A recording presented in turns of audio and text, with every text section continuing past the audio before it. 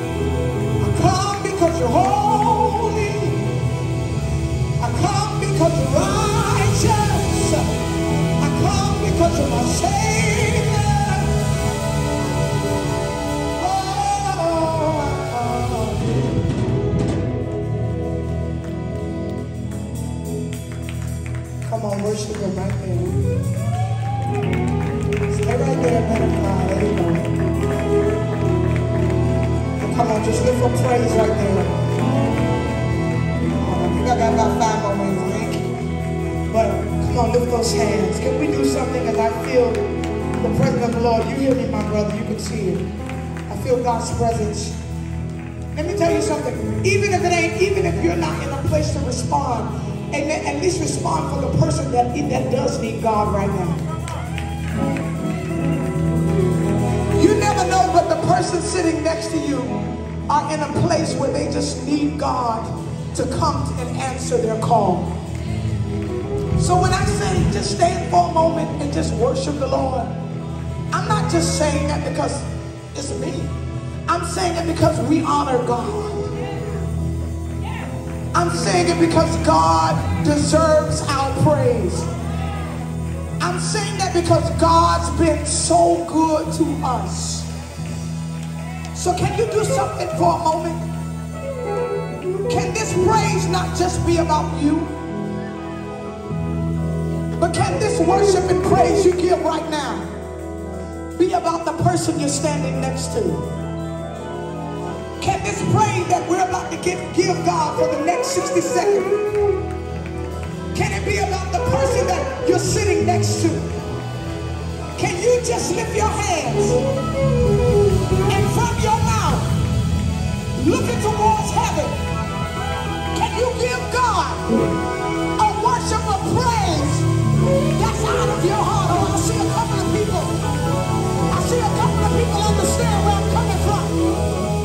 See some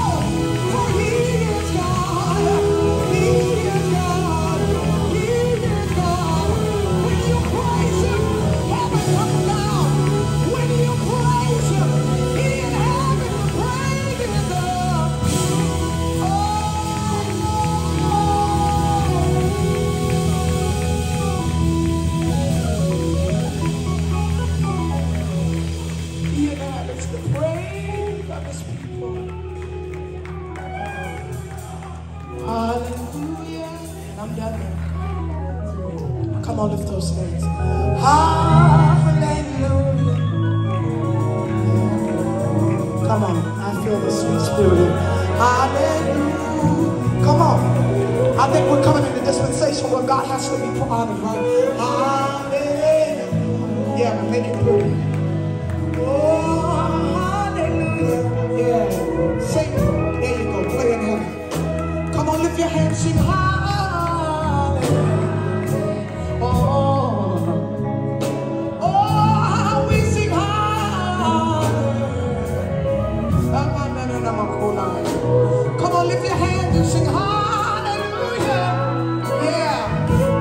Praise actually goes. You know when you're singing hallelujah, God